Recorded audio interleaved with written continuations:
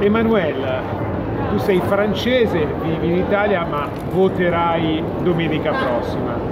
Eh, sei per Macron, per Marx, però ieri abbiamo assistito a qualcosa che in Italia abbiamo già visto per esempio, noi la chiamavamo strategia della tensione. Cosa pensi che accadrà dopo quanto è successo ieri sera sugli Champs-Élysées? E il mio timore sarebbe che dasse più favoritismo a, a, Marine Le Pen, perché questa diciamo, politica della tensione potrebbe magari spostare un certo elettorato un po' ancora indeciso verso una Le Pen che dimostra di essere molto più bacchettona su determinate tematiche che riguarda il terrorismo. Noi come En Marche e io come marcheuse preferisco rispondere con una distribuzione di uh, tract a favore di Macron perché io credo che l'unica soluzione è proprio rispondere con un, progetti, con qualcuno che abbia un'idea forte di un'Europa forte e unita, piuttosto che coltivare il terrore. Senti, però ieri sera gli analisti politici hanno rilevato che Marine Le Pen ha detto occorre una sollevazione nazionale contro uh, l'Islam uh, in, in, quel di Parigi e più in generale in Francia. Tu cosa pensi che bisogna fare concretamente per superare questo stallo? Perché obiettivamente in questo momento la Francia e i parigini in modo particolare sono obiettivamente spaventati. Eh, posso immaginarlo. Io credo sì, sicuramente i gruppi islamici francesi, i moderati, dovrebbero esprimersi forse con uh, forza, ma io credo che lo fanno già. Non credo che la violenza sia la risposta, sia al terrorismo e via di seguito. Io credo più a creare dei ponti con questi paesi eh, islamici, eh, parteneri eh, commerciali come l'Algeria, la Tunisia, il Marocco, dove comunque culturalmente possiamo anche in un certo senso essere simili o comunque ci possiamo capire visto la nostra storia. Certamente il problema dell'Islam è un grosso problema per tutti perché mh, pone un problema al centro, quindi l'integrazione cioè io come, ripeto e come ha detto anche Macron, nessuno sopra la bandiera, va bene il rispetto delle proprie eh, religioni a condizione che non intralciano la Repubblica, le leggi della Repubblica. Quindi finché si trova questo consensus con la, l'adesione al rispetto delle leggi locali, credo che si possa sì certo eh, lasciare tutti quanti liberi di praticare la propria religione. Io credo che il problema dell'Islam non è tanto su um, permette a, questa, a, queste persone di praticare la loro religione. Io credo piuttosto che di far capire che nel momento in cui si sceglie un paese e si sceglie anche la nazionalità di un certo paese, uno deve anche meritarlo, quindi deve anche integrarsi, accettare le leggi e il modo di vivere di, di, questa, di questo nuovo paese di accoglienza e fare in modo di unire e armonizzare una vecchia, una, una sua cultura d'origine con quello del paese ospitante. Senti, ti faccio ancora una domanda, tu ti spieghi perché eh, nel mondo diciamo così, islamico sono stati presi di mira alcuni paesi, l'Afghanistan, la Siria, l'Iraq, ma dell'Arabia Saudita non si parla mai?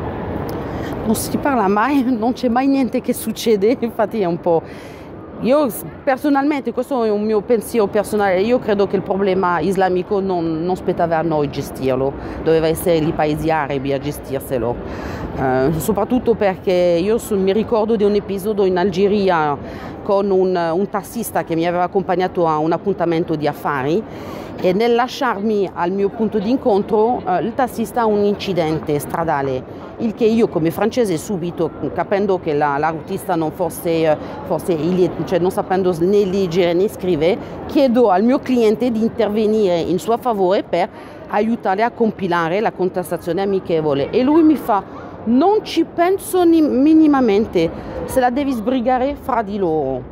Quindi già secondo me questo ci dovrebbe far interrogare seriamente se noi abbiamo veramente il potere di poter eh, decidere, la forza di fare, fare pace fra di loro e soluzionare il problema. Io francamente credo di no.